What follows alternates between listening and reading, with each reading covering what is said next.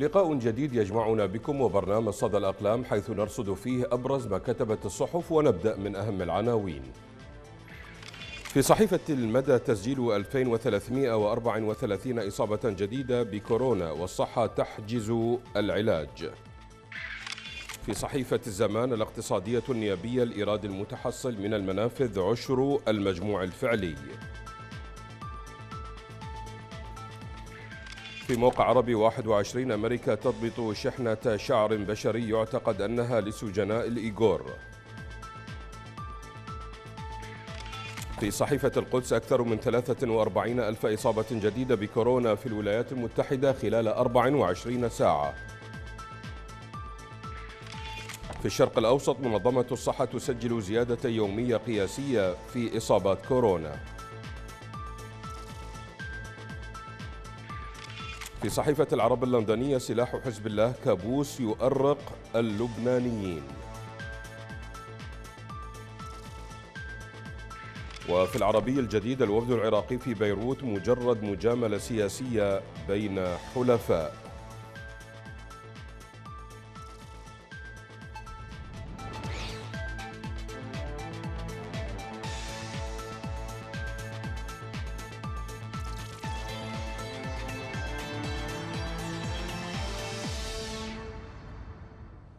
إذا مشاهدينا الكرام التردد الجديد لقناة الرافدين الفضائية هو 10727 الاستقطاب أفقي معدل الترميز 27500 ومعدل تصحيح الخطأ 5 على 6 على مدار القمر نايل سات. لذا يرجى من متابعينا ضبط أجهزتهم على التردد الجديد وأن التردد القديم سيتوقف قريباً. السلام عليكم. وقائع صارخة ووثائق عديدة مكدسة تؤكد أن تشكيل التحالف الجديد عراقيون فكرة إيرانية خالصة هدفها خلط الأوراق وكسب الوقت وتبريد حماس المنتفضين. من ثوابت التاريخ العراقي الأسود الذي كتبه الإيرانيون ليس في عام 2003 وما بعده بل قبل ذلك بكثير. أن باقر الحكيم وشقيقه عبد العزيز وهادي العامري قائد منظمة بدر ذراعهما المسلح كانوا أول المؤتمنين الذين استخدمهم الخميني في حروبه التي أراد بها احتلال العراق بل أكثرهم إخلاصا له وتفانيا في خدمته دون جدال. مقال الكاتب إبراهيم الزبيدي في صحيفة العرب اللندنية نستمع إلى جزء منه. من الثوابت في المسألة العراقية من سبع عشرة سنة أن إيران هي الحاكمة وعليه فليس معقولا ولا متاحا أن يخرج عمار الصغير ورفاقه الصغار من خيمة الولي الفقيه. فهل يعقل أن يكون عمار الحكيم والذين معه في تحالف عراقيون قد صحت فيهم الوطنية أخيرا وامتلكوا الشجاعة الكافية فجأة فقرروا الاصطفاف مع رئيس وزراء تعاديه فصائل الحشد كافة ويتطاول عليه أبو علي الولائي وقيس الخزعلي وهما أكبر قائدين في الحشد الشعبي. ويتحديانه بمسيرات عسكرية استفزازية مهينة في عقر داره ويهددانه بالقتل ويعلنان صراحة أن برلمانهما سيقوم باستجوابه ثم إسقاطه وطرده في النهاية لا من الرئاسة فقط بل من العراق كله كذلك. والأكثر مرارة في لعبة تبادل الأدوار هذه أن الكاظمي جعل العراقيين يصدقون بأنه باعتقاله أعضاء خلية الصواريخ من مسلحي حزب الله قد حزم أمره وقرر أن يبدأ حربه المقدسة ضد من أسماهم بالعابثين بالأمن الوطني حتى لو كانت بظهرهم إيران بقضها وقضيضها. ثم فجأة يجده العراقيون قد استدار إلى الوراء وزار المعتقلين الذين أطلق سراحهم قضاء مدحت المحمود وفائق زيدان لعدم كفاية الأدلة ثم اعتذر لهم وراح يصالحهم مع قادة جهاز مكافحة الإرهاب الذين قام حزب الله باعتقالهم وقايض بهم لإطلاق سراح مسلحيه الإشكال هنا يكمن في أن مصطفى الكاظمي من أول أيامه في الرئاسة أوحى للجماهير العراقية الغاضبة بكلامه الكثير وفعله القليل بأنه البطل الوطني الحقيقي القادم لاستعادة هيبة الدولة وسلطة القانون واجتثاث الفساد.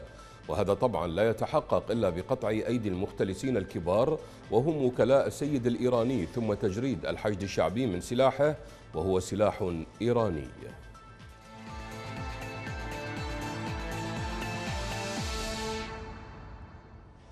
الأزمات السياسية والاقتصادية والاجتماعية صفة ملازمة لعمل النظام السياسي العراقي فما يحاول الخروج من واحدة حتى يجد نفسه في أخرى أكبر وقعا من سابقتها.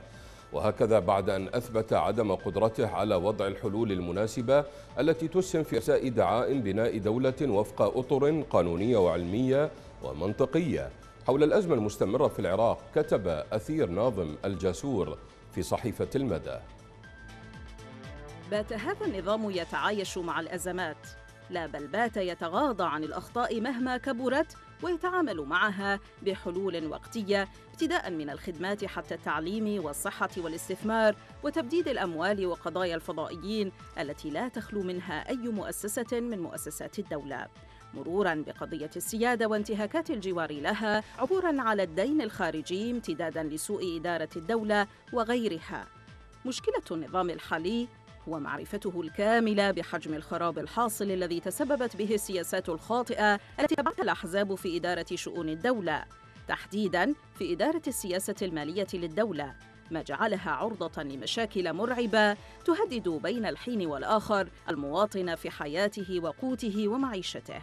وكانت المشكلة الأكبر أن الأحزاب تواجه أي اعتراض أو نقد على سياستها بالعنف ما أسهم في إرساء ثقافة عنفية تتبعها السلطة تجاه شعبها وهذا ما جعلها تعيش في عزلة تامة عن الأحداث الواقعية الحاصلة في الشارع. عموما إن النظام ما بعد 2003 أسهم في وضع مفاهيم جديدة غير الظلم والتعسف التي ورثها عن النظام السابق. وهي مجموعة من المفاهيم التي رسخت التفتت والتقسيم والابتعاد والهويات الفرعية والانحياز وكل ما له من علاقة بالانفصال عن الواقع. وما ترسخ في ذهن المواطن عن نظامه الجديد هو استخدامه لاستبداد محدث عن السابق استبداد مؤطر باسم الديمقراطية التي لغاية اليوم لم يرى منها المواطن سوى بعض الأجهزة الإلكترونية وبعض التحديث التكنولوجي والهواتف الذكية وبعض من السب والشتائم التي لا تقدم ولا تؤخر.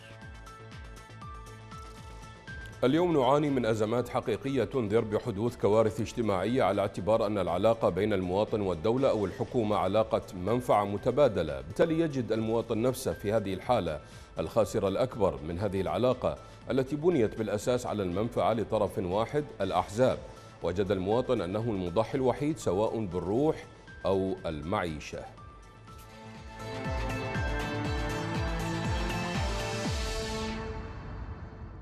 تعيش الشعوب الحرة درة ماضيها التليد وتستذكر محطات كبيرة ووقائع مؤثرة وشخوصا رسمت معالم مستقبل بلادها وحققت عنفوان وذروة الانتماء الوطني لبلادها ودفاعها عن وجودها وديمومة حضورها ومستقبل أجيالها. وصولا إلى غايتها في الحياة الحرة الكريمة وتدعيم أواصر الوحدة الوطنية ودعم وإسناد حقوق الشعب الثائر في تطلعاته وإيمانه بقضيته العادلة نحو الاستقلال والحرية التامة.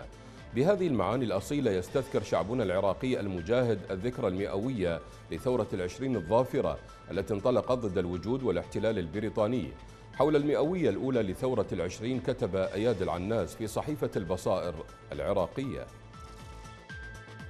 جاءت ثورة العشرين لتشكل انعطافة كبيرة في الحياة السياسية والاجتماعية والثقافية في العراق ولتعلن عن نفسها أنها جامعة لآمال كل العراقيين وأنها ذات أطر سياسية تتمثل في رفض الهيمنة البريطانية والتدخل في الشؤون الداخلية للبلاد والوقوف بوجه الإرادة الاستعمارية التي مثلتها القوات البريطانية في إساءتها وسوء تعاملها مع أبناء العشائر العراقية في عموم محافظات العراق في الوسط والجنوب وصولا إلى شمال البلاد حيث العشائر الكردية والعربية المتآخية في حب العراق والانتماء إليه. وحققت بعدا سياسيا في مفهوم الوحدة الوطنية العراقية الرصينة لتؤكد وحدة النسيج العراقي المتماسك وتعزز روح الانتماء الوجداني وتؤطر حالة الوجود الحقيقي المتعاطف مع الثوار وحركتهم وأصالة مبادئهم. حققت الثورة صورة ناصعة في مواجهة المد والوجود العسكري المتمثل بآليات ومدرعات وأسلحة المحتل البريطاني في مواجهة شعبية كبرى تمثلت فيها الإرادة الجماهيرية وصلابة الموقف وشجاعة الثوار وهم يقاتلون بأسلحتهم التقليدية البسيطة معاقل القوات البريطانية وبجميع أسلحتها وصنوفها الدفاعية والهجومية. وهذا شكل جهدا عسكريا مهما أكد روح واندفاع الثوار وإيمانهم الحقيقي بأهدافهم ومشروعية قضيتهم في المناداه بالاستقلال الوطني واستعادة سيادة وكرامة البلاد. تبقى إرادة الشعب العراقي وصفة الوفاء والانتماء لرجال ثورة العشرين هي الدافع الأساس لكل المؤمنين من الرجال الشجعان والأبناء الأصلاء المنتمين حقيقة إلى أهداف ومبادئ هذه الثورة وشعلتها الوضاءة في استذكارها في ذكراها المئوية.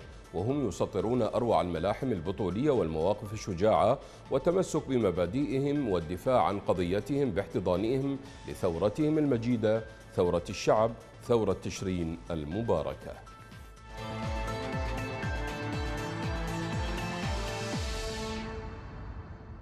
أحمد راضي قضية وطن بهذه الكلمات افتتح الكاتب ياسق ضير البياتي مقاله بصحيفة الزمان جاء فيها. ذهب أحمد راضي إلى دار حقه وذهبت معه كرته الذهبية وقميصه الأخضر وذكريات كروية صنعت مجده مثلما صنع مجدا لها في المحافل الدولية. فقد صنع لجمهوره فرحا أثناء الأزمات والحصار والجوع ووحدهم عراقيا وقلع طائفيتهم وقومياتهم وأديانهم. وأيضا كان أسطورة المبدعة أحمد راضي سفيرا وطنيا لرفع العلم العراقي خفاقا في ساحات العالم. كان المرحوم في المستشفى يعاني مزدوجات المواقف. فالخدمة الصحية كما قيل من رجال الطب كانت ملتبسة في طريقة الخدمة والعلاج والأجهزة ليست على ما يرام وبروتوكولاته الصحية متناقضة ولا تأخذ طبيعة حالته الصحية ودرجة الإصابة وقوتها بعين الاعتبار. وطبلة المريض ممزقة ومخجلة مكتوبة بخط مسماري باليد. كما كانت طريقة الدعاية مرعبة ومموجة تتصدرها نرجسية مدير المستشفى المرتفعة بحرارة العظمة. مع أن القانون الطبي المتعارف عليه عالمياً لا يسمح للمدير وكادره الطبي أن يعقدوا جلسة مناقشات في غرفة المريض. وكأنها مؤتمرات صحفية وهو يتحدث عن ضلال الإعلام وتشويه الحقائق ويبرز بطولاته الخائبة ويحاصر راضي غير القادر على التنفس لكي يتكلم عنهم بإيجابية. رغم أن ما حدث في الغرفة من أخطاء قاتلة لا يغتفر طبياً. فهل يعقل أن يكون معه مرافق والغرفة تتعطر بالفيروس القاتل؟ وأن يترك بدون ممرض يرافقه ويتابع حالته؟ فكان الهدف القاتل الأخير عندما ذهب أحمد إلى الحمام لوحده ورفع قناع الأكسجين دون مرافق صحي فحدث ما حدث. هناك الشيء الأخطر فقد كانت صورة راضي كما رأيته في وضع نفسي سيء للأسباب الكثيرة. بسبب الضغوط التي تعرض لها من قبل إدارة المستشفى وزيارتها الدعائية له وكاميرات الإعلام المختلفة وهي تتجول بحرية. غادرنا أحمد راضي أيقونة الكرة العراقية وهو ينصحنا بصلاة الصبح ومساعدة الفقراء بصوت وطني لا يقبل القسمة. كان هدافا ضد الطائفية وعابرا لها وساحرا كرويا عاشقا للكرة والحياة والناس. مانحا الفرح والسعادة لعراق الأزمات والمحن فكانت كرته الذهبية تتألق بعراقيتها زهوا من أجل عراق كان يعشقه وعراق يعشق وطنيته وأسطورته المبدعة. أحمد راضي قضية وطن قبل أن يكون رياضيا ورمزا عراقيا خدم العراق أكثر من الأصوات الناعفة الحاقدة كان عراقا كان عراقا بصفاته وعموقه التاريخي وطيبته وتسامحه.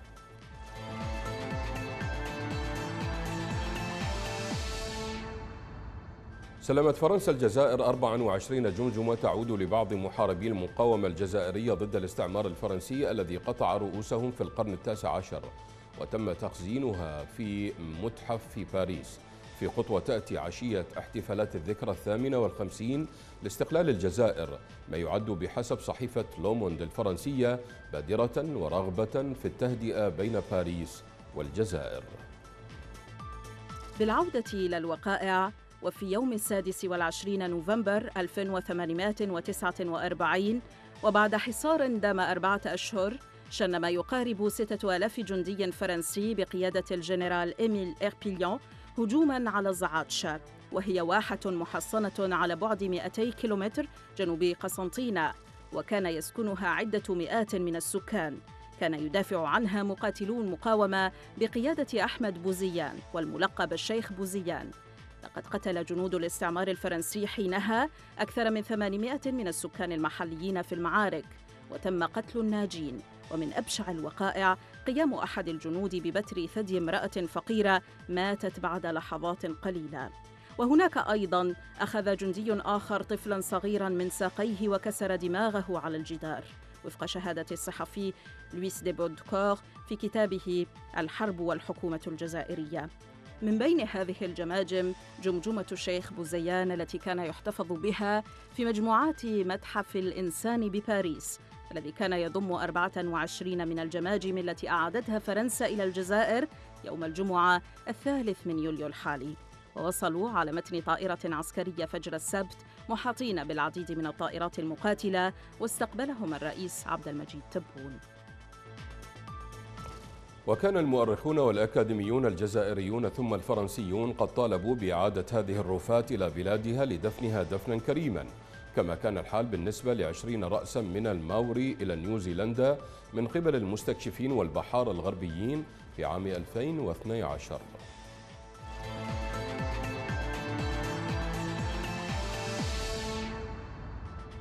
قال الخبير طارق باقوني المحلل في مجموعة الأزمات الدولية إن خطة الضم الإسرائيلية سينتج عنها حقبة مقاومة فلسطينية جديدة وأوضح باقوني في مقال نشر بصحيفة New York Review of Books أن الفلسطينيين في المناطق المحتلة وفي إسرائيل وفي شتات والذين خاب أملهم في القيادة الرسمية باتوا وبشكل متزايد يعيدون تعريف نضالهم بعيدا عما يعتقدون أنه سراب الدولتين.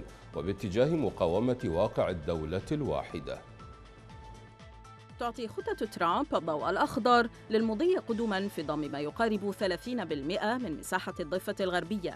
بما في ذلك ما يزيد عن 200 مستوطنة وبؤرة استيطانية إسرائيلية وجزء كبير من وادي الأردن إلى إسرائيل بما يزيل وهم أن الاحتلال مؤقت. وباسم حل الدولتين الواقعي تدعو الخطة إلى إقامة كيان فلسطيني في المناطق التي لا تخضع للضم من قبل إسرائيل والتي تحيطها بالكامل الأراضي الإسرائيلية في الضفة الغربية. سوف تضم هذه الدولة المفترض أنها ستكون مستقلة مجموعة من الجيوب الحضرية التي ترتبط ببعضها البعض عبر شبكة لم تنشأ بعد من الجسور والطرق السريعة الدفينة والأنفاق. الفلسطينيون في المناطق المحتلة وفي إسرائيل وفي الشتات والذين خاب أملهم في القيادة الرسمية باتوا بشكل متزايد يعيدون تعريف نضالهم بعيدا عما يعتقدون أنه سراب الدولتين وباتجاه مقاومة واقع الدولة الواحدة. فبدلا من الاكتفاء برموز الدولة وبجيوب من الحكم الذاتي الفلسطيني فإن نقطة البدء بالنسبة لهم تتمثل في سيادة إسرائيل الحصرية على كل الأرض الواقعة بين النهر والبحر. وتركيزهم يتوجه نحو الحكومة الإسرائيلية من حيث أنها توفر حقوقا مدنية وسياسية لليهود وتحرم منها الفلسطينيين بدرجات متفاوتة تتوقف على مواقعهم. بالنسبة لأولئك الذين يدافعون عن إحداث نقلة في استراتيجية التحرير الفلسطينية تشكل هذه اللامساواة البنيوية الحافز الأساسي نحو النفير. يمثل النضال من أجل تحرير فلسطين تهديدا أساسا للاستعمار الاستيطاني وللأبارتيد الإسرائيلي وهو المنظومة التي تأسست ولا تزال قائمة على التطهير العرقي وسرقة الأراضي وإنكار حق الفلسطينيين في الإنسانية والسيادة.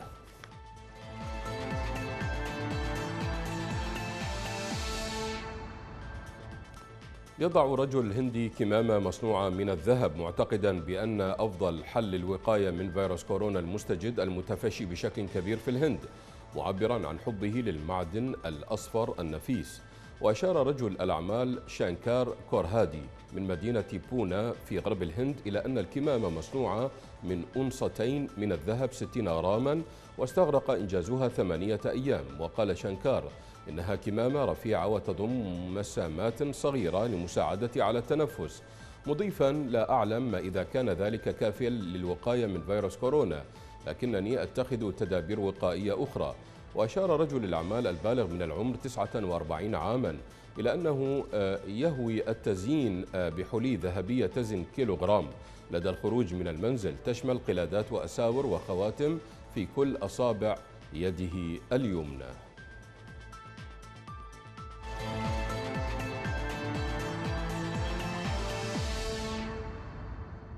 الرسوم الكاريكاتورية لها أسلوبها الخاص في وصف الأحداث حول العالم.